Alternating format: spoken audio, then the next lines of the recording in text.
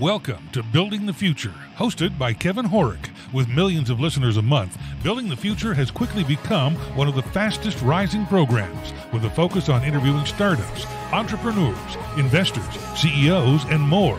The radio and TV show airs in 15 markets across the globe, including Silicon Valley. For full showtimes, past episodes, or to sponsor the show, please visit buildingthefutureshow.com.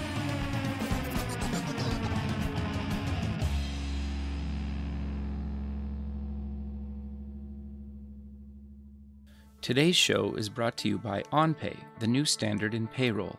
You can pay employees and contractors in minutes, automate your payroll taxes and filings, as well as provide health benefits and HR in all 50 states. For more information, visit buildingthefutureshow.com slash onpay. Welcome back to the show. Today we have Celine Tien. She's the founder and CEO at Flowly. Celine, welcome to the show. Thanks for having me, Kevin. Yeah, I'm excited to have you on the show. I think what you guys are doing at Flowly is not only clearly very timely, but but even if that all the craziness wasn't happening right now, you guys are doing something really innovative and cool. But maybe before we get into that, let's get to know you a little bit better and start off with where you grew up. Yeah, sounds good. Um, well, yeah, we build a mobile app for chronic pain and anxiety, but how we started this journey is really, really far from that. Um, I actually grew up, I would say I spent about half my life in Asia, half my life in the US. Oh, interesting. Um, I was born in North Carolina. Okay. Uh, my dad was the head of neuroradiology and MRI at Duke University. oh, wow. Um, and so I was born at Duke. Um, doesn't Beautiful doesn't campus. really tie. It is. It's, it's. I actually haven't been since I was born there. Ah, okay. Um, but I was born there, and I very shortly after moved to Singapore, and then um, then spent the majority of my childhood actually in Taiwan. Oh, So half my mother's side, um, they're from Taiwan. My father's side is from Shanghai, and so I just grew up in Asia. Um, grew up, you know, between these different countries. And then when I was around like elementary, late elementary school, middle school age, I moved to the U.S. Um, first to San Diego, and then to Los Angeles. Um, so I've really been, you know, around the world um, and cool. spent the majority of my childhood very nomadically. No, very cool. So you went to university. What did you take and why? Yeah, I went to Yale and I studied um, English and film studies. And it, it was a culmination of the fact that my first passion, first and foremost, is storytelling. So I grew up writing. I, I think I wrote my first like novel um, that was never published when I was like eight or nine years old. And writing has always been my first passion. And so I knew I always wanted to study English and writing when I was in university. Um, but actually, one of the reasons I had moved to LA initially was because my brother and I had started acting. So auditioning, acting, working in film and television and commercials and the entertainment industry. Um, so, you know, your typical like child actor, Disney, Nickelodeon stuff. Sure. Um, so cool. I love storytelling. Yeah, I love storytelling through sort of the acting perspective as well. And when I got to college, I decided that being an actor, you don't have that much creative control over the final product. But one thing that you could do is step behind the camera and look into developing the content, whether it's through producing, directing, writing, um, so many different angles. And that's a lot of what I studied when I was in college. And so it was kind of bringing those two passions together and, um, you know, culminating in my thesis later on. Interesting. So walk us through your journey up until um, coming up with the idea of, of Flowly, and then let's get into what exactly it is.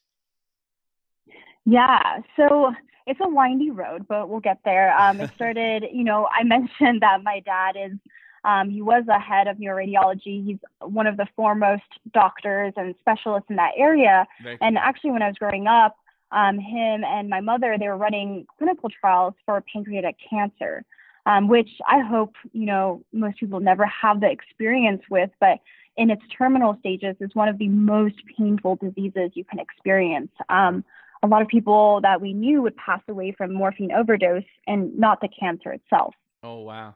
So pain, yeah, pain management is something that you know, I've always been very, very aware of when I was growing up, something we talked about. My father actually had passed uh, FDA orphan drug designation for two pancreatic cancer pain solutions. So it's something that, you know, we were very intimately familiar with. But growing up, I kind of stepped back from that, you know, rejection. I don't want to go into the medical field. I'm rebelling against my family.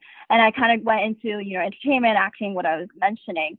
I'm studying the humanities ironically here we are but uh, we'll get to that so i was um, so you know i was studying uh, film english and when i was in college i decided that i wanted to work in development which in entertainment lingo just basically means content development you know actually writing scripts buying scripts developing stories in the studio context so i started as an intern um, at this place called Oriental DreamWorks, which is just DreamWorks Animation's a co-production company in China.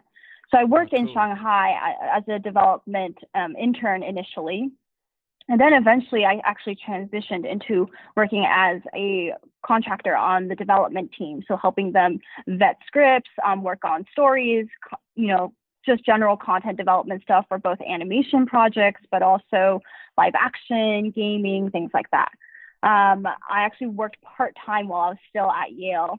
Um, so I would work, you know, half the week doing development stuff, half the week I would go to classes. I was not a very good student, but I've never been, so I didn't really care. um, so I was very, very focused on my work. And so then I ended up working at DreamWorks Animation in Los Angeles, um, also doing development stuff. And it was while I was there that I, you know, realized the studio life just wasn't for me. It was to me a little more stifling than what I loved and i really like sort of the fast paced feel of you know the startup life something a little less structured um, something that was pushing on a more you know passion level than a lot of what like studio execs worked off of at that time anyway. Sure. And so when i was at dreamworks one sort of blessing in disguise was that they had recently shuttled their vr department which meant that they had a bunch of vr hardware and um, tech lying around, but no one was using it. And so I convinced this guy to kind of like let me in and play around with the VR stuff there, and I fell in love with it. I was just convinced like this is the next platform, this is the next thing that we're all going to be into, whether it's in the version that we see it, it now or whether it you know morphs into something else. But just the immersion of interactivity, I thought was something that was fascinating. So I ended up actually writing my thesis at Yale about story, storytelling in virtual reality and how do you actually write scripts and develop content that's interactive and doesn't have like a director's lens on it. And so we I decided the first thing I needed to do was actually do a VR project. So I left DreamWorks, um, convinced my best friend from Yale who was doing electrical engineering at Hyperloop One, Julian Soros, to kind of join me and do our first project in VR. And then I also asked my DreamWorks contacts, like, please introduce me to the most talented, awesome designer that you know. And that's how we met our third co-founder, Naray Kim, who was finishing her master's at, you know, the very prestigious California Institute of the Arts. And she could have gone to like DreamWorks or Disney or Pixar or whatever, but she ended up with us. That's awesome. and we managed to convince her to join our little team. And we ended up building out a team of about 30 engineers, artists, musicians to build our first VR project, which at the time was one of the first VR projects using something called light field technology. And because of that, um, we went to Cannes Film Festival. We were selected um, projects that was featured there. Uh, we went to CES and we won an award at the AT&T Developers Conference. Thank you. Um, and because the VR interactive experience we had built was about Alzheimer's disease, um, a lot of researchers actually started reaching out to us and saying, "Hey, can we, you know, use this technology you guys are building for um, this interactive experience for our research? You know, whether it's in the medical field, it's in psychology, even sociology." And that kind of got our wheels turning, and we were thinking, "Wow, there's a lot more to this than just pure entertainment." Um, because one of the other things we had started to build out was biometric feedback, which is something you could do easily in VR because you're wearing literally a computer on your head. We could track things like pupil dilation, your where you're looking, um, your body and face temperature, and we wanted how your body was reacting to the content to actually change the content itself. So the content would be reacting to you. And this idea of biometric feedback, when we brought it up with my dad, he was like, Whoa, you guys know that biofeedback is a therapy that's been used for decades. Um, it's been used for decades in therapy, in PTSD, um, in OCD, anxiety treatments, etc. It's just traditionally very hard to access um, because the way that traditional biofeedback looks, you literally have to find a biofeedback specialist. I mean, how many of you have heard of that? I know I didn't before no, this. Fair. And so you find a specialist, you go into their office, and you get hooked up to sensors. So it could be like EEG machine, it could be heart rate, um, heart rate variability, temperature, GSR, etc. And then literally in a computer in front of you, you see a graph of your body. So you see like your temperature, heart rate, EEG, etc. Interesting. The specialist will then walk you through relaxation exercises like breathing slowly, different, um, you know, wellness methods, and then you actually see how your body changes as you learn to relax. And just by being able to see how your body is changing, um, you're learning to better regulate your nervous system, which is just absolutely key to controlling pain, managing how you feel, mental health, physical health, um, down to your physiology of how your parasympathetic system is reacting and being awoken to different stimuli that you're being exposed to. And, you know, this obviously when we learned about it was fascinating. For Julian, who's our CTO now, you know, with his electrical engineering background, he was like, this biofeedback, there's so many things we could do with this. And then on the content and design side for me and Nure, we were thinking, wow, we could make this something so much less boring than a graph on a computer screen, mm-hmm. um, something like a game, something like an immersive experience, and we can all make this accessible on your phone. So essentially what we did is we combined these two novel technologies, which is biofeedback and virtual reality, and we put them onto an app that anybody could access. And we geared this very specifically towards pain and anxiety management because of my personal experience um, growing up around these patients with so much pain. And then also realizing that people that have a lot of pain, the highest comorbidity is having anxiety. Um, and so this is kind of how we first started um, what we're building now. Okay, no, that's that's very cool. So before we dive into some of the features of of the current version, you mentioned you guys have a team of 30 people. Is that correct? So that was for our first VR project. That was our team of 30 now. Now we are a smaller team um, because we're we kind of focused in on this digital health um, vertical gotcha. and we work with like another extended team of engineers and artists and things like that. Okay, so how did you get the first uh, couple versions of this build? Did you guys bootstrap? Did you raise some money, or walk us through that? Yeah, so that was a whole interesting experience because you know when you bring this sort of solution to investors, um, surprisingly, most of them have never heard of biofeedback or you know the combination with VR. And this was I remember we went to one investor who on his bio page on the on their website says like I'm looking for out of the box ideas. We pitched him and he was like, whoa, this is way too out of the box for me. Um, like, so we were like, okay. so I guess we're a little bit different than things that are out there right now. Um, and what we realized more so than getting investor validation is we wanted clinical and scientific validation. Right. That was much more important to us. Um, and that's also, you know, my background, my whole family, that is something we value a lot. And so we, very early on, we were blessed in that A, we're taking two therapies, VR, that has also been used decades for pain management, um, that's been validated.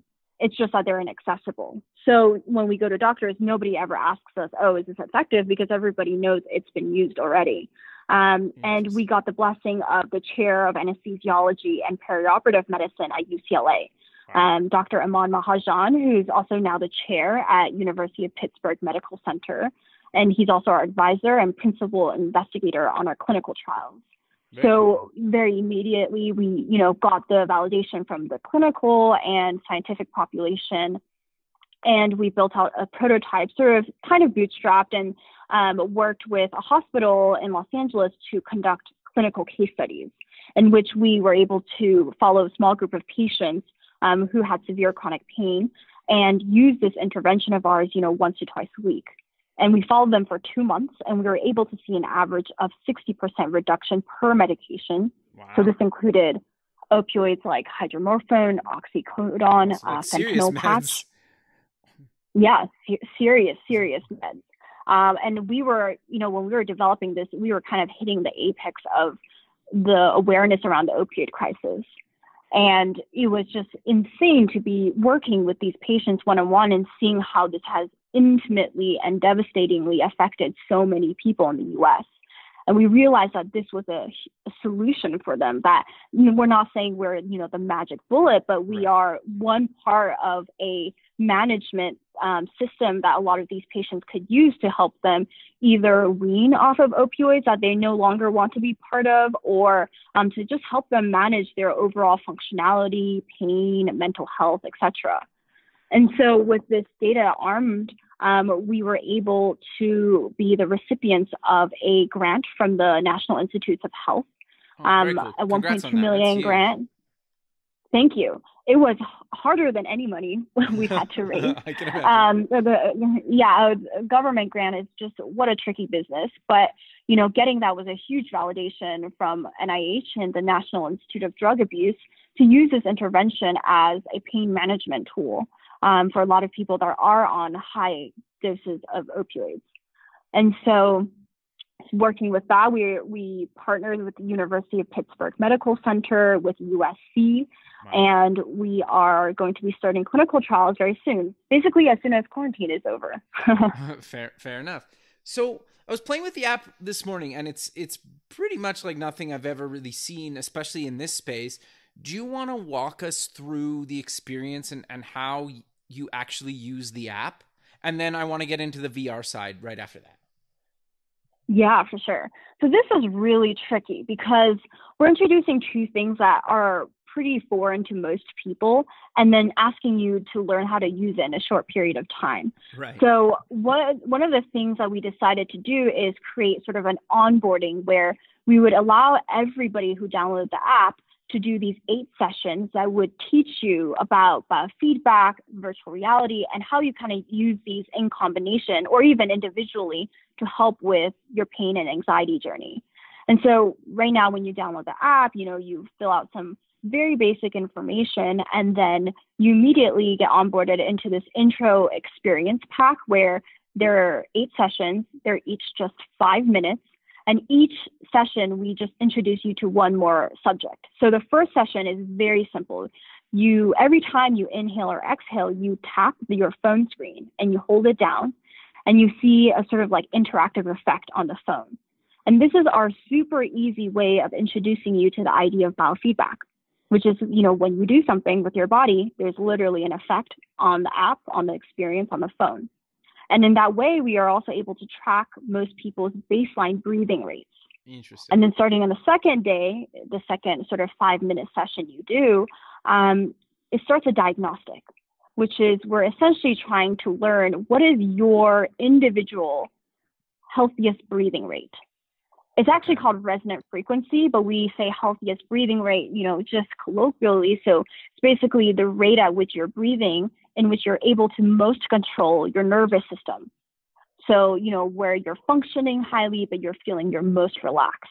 Everybody has a unique breathing rate at which they can breathe at to achieve that. Everyone is slightly different. So you'll, you'll see like people say average is six breaths per minute, but you know, for me, it might be 5.7. For my co-founder, it might be 7.2, all slightly different to kind of optimize your body. So the next sort of three to four sessions, um, we engage in biofeedback without any sort of sensor. You just put your finger on the back of your phone camera, and we're able to get your heart rate data. And that's how we do the diagnostic and figure out what's your best breathing rate. And then there on out, we kind of start introducing you to different types of um, relaxation trainings you can do with doing this breathing rate that we just diagnosed you with, essentially. Interesting. And then how does the VR headset play into this? So the VR headset fits into this um, in a few ways. One is that for, let's say you have like general anxiety. Okay. Um, a lot of people don't require the VR headset, like the relaxation training using the sensor on your phone is enough to help you learn how to control your nervous system. But let's say you have a lot of pain, okay. right? And one of the problems when you have pain is it's hard to focus on anything else. A lot of pain patients um, ask us, like, or they tell us, you know, we've tried every meditation app out there. It doesn't work. Why doesn't it work? Because when you ask someone to meditate, you ask them to close their eyes and focus in on their body. Well, I mean, that's where their pain is. Right. And so this is kind of um, by using virtual reality and externalized meditation. You're learning sort of those wellness techniques, you're learning the relaxation te- techniques, but it's all very data focused. And we're giving you an external source to focus in on, which is um, you slip your phone into a low cost VR headset and you're suddenly immersed in like a beach side with the aurora lights above you. You're on a lakeside, you're in a forest, um, you're in a cherry blossom lane, and you're you're immersed in this like relaxing, beautiful world. But at the same time, you're able to learn these techniques um, seeing your heart rate variability, seeing your heart rate, seeing your respiration, learning how to control your nervous system. And then as you do better and better, the world around you actually changes and reacts to you. So it's gamified. So it presents a really, really nice way of teaching you faster and more immersively how to do these relaxation techniques um, that Flowly strives to do. Interesting. So, how do you guys decide what activities and scenes to create to treat different types of things like anxiety or stress or the other things you guys uh, work through? Yeah, that's something that we put a lot of thought into. Um, and this is where I think that my background in content development and mm. our other co-founder Nare's background in design really comes into it because we see you know some solutions out there that use current games or current movies and TV to you know distract people or um, sort of play upon different of these techniques. But for us, we want to create everything in house because everything down to the color, um, to the shape of a tree, to how music um, comes in and out of the scene can deeply, deeply affect pain and anxiety patients. Um, and I mean, it's not hard to, you know, imagine that subconsciously we're affected by everything around us visually and auditorily.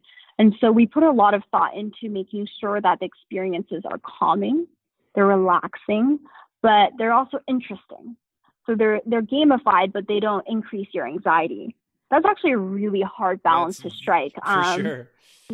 Yeah, and you know you don't realize it until you try to recreate that type of experience, but it's a very hard balance to sort of um, to execute for something like the therapies that we're building out. No, interesting.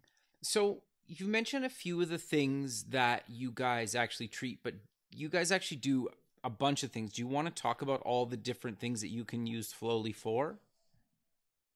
Yeah, so we focus um, initially on, especially in terms of, you know, when we talk about the product with chronic pain patients and anxiety patients, but this is a tool that is helpful. I mean, I like to say it's helpful for anyone. Um, I don't personally have severe chronic pain um, or anxiety, but I use it on a daily basis to help myself manage my focus and my ability to relax and um, even sleep at night that's one of the biggest things we saw even in our initial case studies is that most of our users would opt to do it in bed okay. um, literally you know lean back and on their pillow with their either their phone or with their vr headset you can do it one with or without the other um, and do it before they went to bed because it helps so much with sleep Right. And we also we've worked with athletes, you know, to help them focus, to help them train better. And this is something that's also been really helpful for people with autoimmune diseases that experience a lot of mental health side effects, a lot of um, problems with functionality, things like that. So, this is something that really I think most people can benefit from. Um, it's just so happens that for chronic pain patients, this is something they especially uh, can benefit from. No, that, that makes a lot of sense. That no, that that's interesting.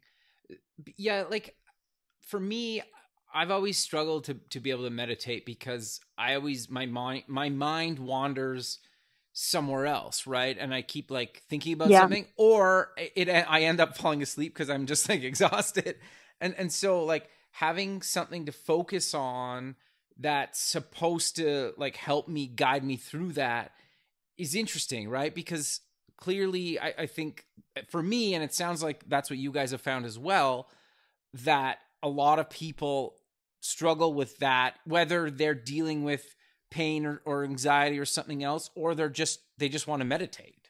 Is that fair to say? Yeah. No, of course. And I mean, one in three Americans have chronic pain. That's a hundred wow. million Americans. So that in of high. itself is huge. Oh yeah, it's crazy. Um, if if you look around you, I'm sure you will know somebody that has been affected if you yourself are not affected by pain. And then build on top of that, that chronic pain is a huge umbrella term, right? There's thousands of comorbidities, including anxiety, depression, um, autoimmune diseases, diabetes, like it, it just, the list just goes on and on. So in some way, most people are touched by chronic pain, touched by um, feelings of stress, anxiety, and performance issues. And so that's a lot of what we're trying to help people with is we understand like I'm never going to claim that this is going to be your magic bullet, but this is definitely a huge, huge tool, except especially one that is extremely accessible that you could do on a daily basis, five to 10 minutes a day. And I will be the first to say I am terrible at meditation.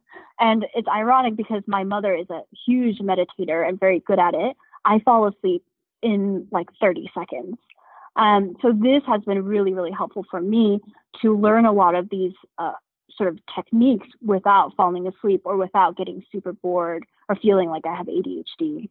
Today's show is brought to you by OnPay, the new standard in payroll. You can pay employees and contractors in minutes, automate your payroll taxes and filings, as well as provide health benefits and HR in all 50 states. For more information, visit buildingthefutureshow.com slash onpay. No, so the, the interesting thing about all, this then is I, I'm kind of surprised that nobody's really kind of done this before, or do you just think that you kind of have a unique approach because of your family history and your background and basically the people that that you got in touch with it you know just working that allowed you to kind of put all these pieces together. Because in a lot of cases you were just kind of guided along some sort of path right? And and all the pieces kind of fell into your your lap a little bit. Like obviously you have to execute and it's way more complicated than that but i think you got kind of lucky of how your career and and kind of family history played out to allow you to be able to build this. Is that fair to say? Oh yeah for sure. And I I always I never want to downplay sort of the privilege that my team has and that we were able to bootstrap this initially before we raised money and capital from investors and that we did have the connections um, in the medical space to be able to um, learn about this, research this, build this out, and test this. Um, so there is a lot of privilege in that. There is a lot of luck involved. Um, and I think a lot of it is also the timing right? We built this at the apex of awareness around opioid crisis.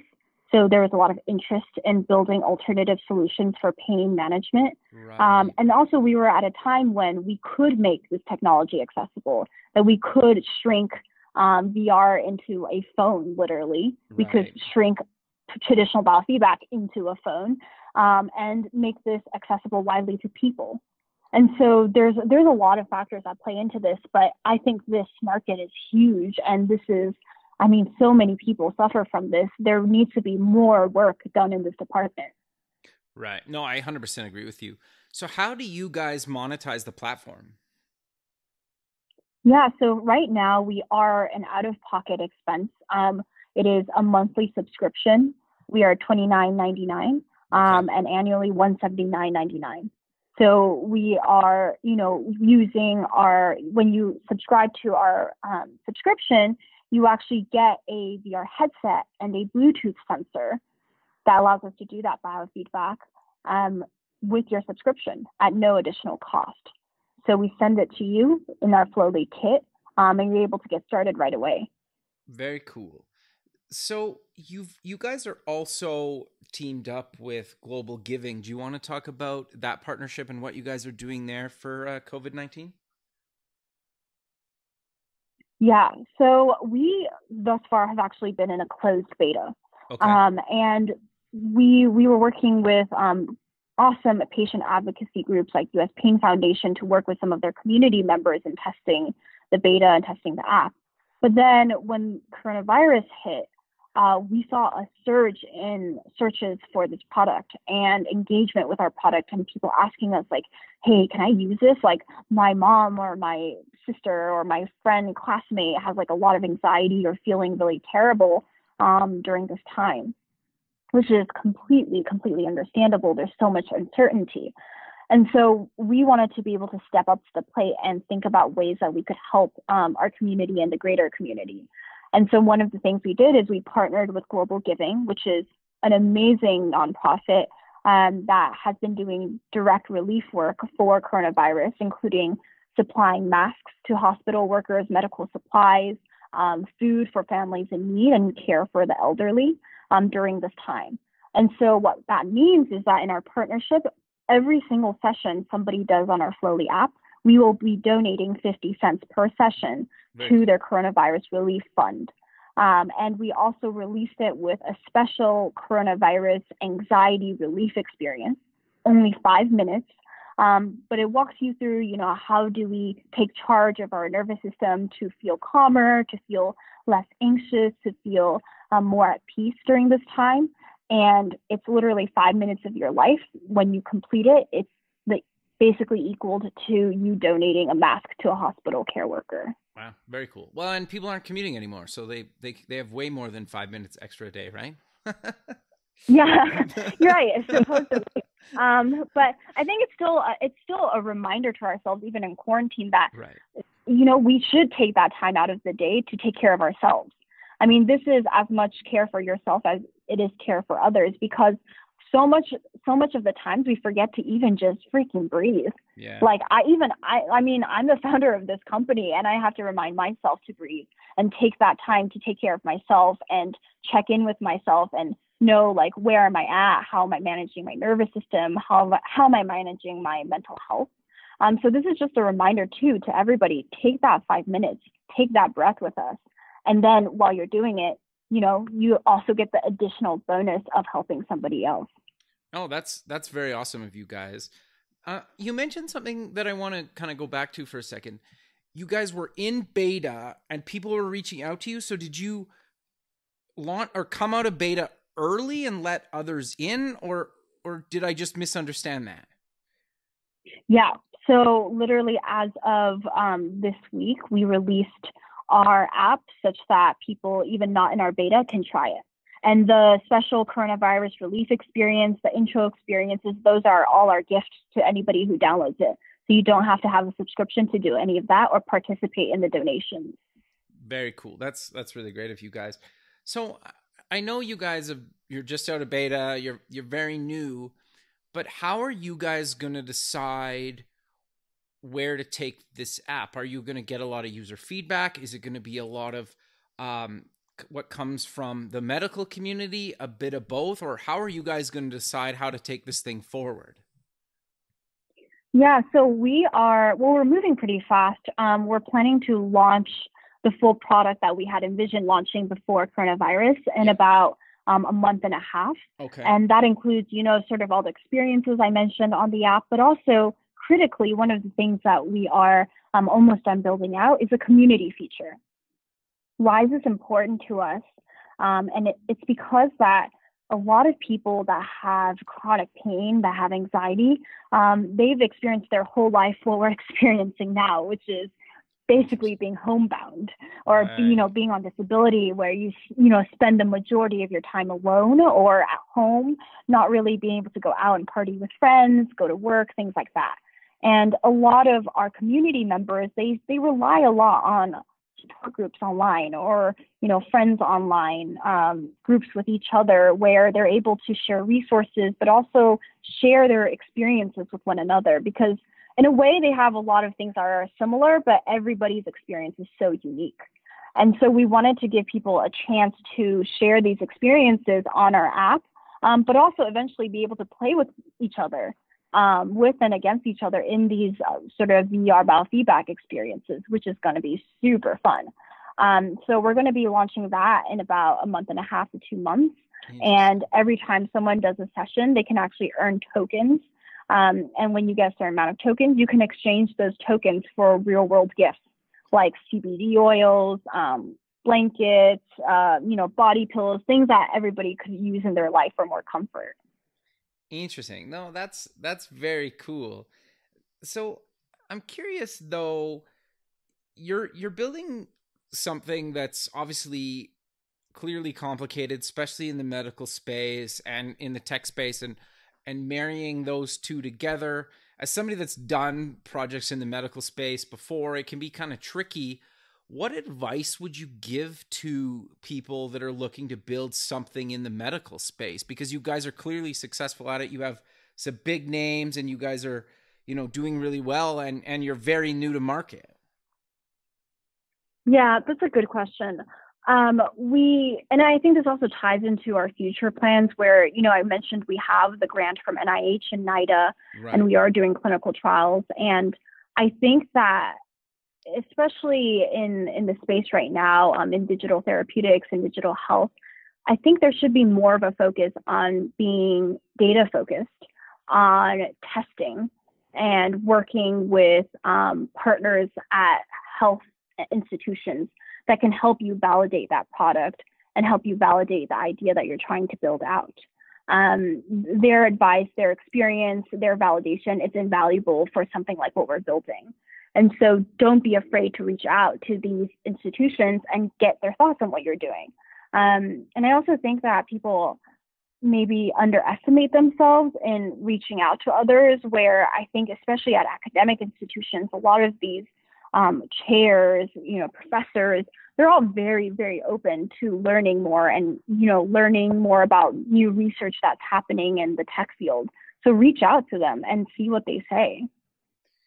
No, 100%. I, I think the, the funny thing that I've learned, and you just touched on it, like e- even doing the show, it's like majority of people, if you reach out to them, they're willing to at least get back to you. They might say no, but you'd be surprised at how many people say like yeah i'll have a look at that or yeah no problem like let me help you out with that you would be absolutely surprised at how many people just will help you out or, or give you your thoughts or and you you never know where it's going to take you. And sometimes it might take you 10 tries to get a hold of somebody or 100 tries but you know anybody that's ever been really successful at this just decided to go for it one day and and started trying to make connections any way they can right Oh yeah. Oh, that's like my whole.